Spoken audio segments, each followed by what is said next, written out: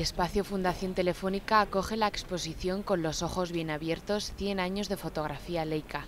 La muestra rinde homenaje al siglo de vida de Leica y a los acontecimientos, personajes y acciones que permitió retratar y que han pasado a la historia. Las fotografías en general están muy bien. La historia de, la Leica, fundamentalmente en blanco y negro, y también las que hay de color, son todas muy interesantes. Y luego las aportaciones de la revista Life que, que aparecen en los expositores, es una exposición que está muy bien. La exposición recoge casi 400 fotografías, además de revistas, libros o carteles publicitarios.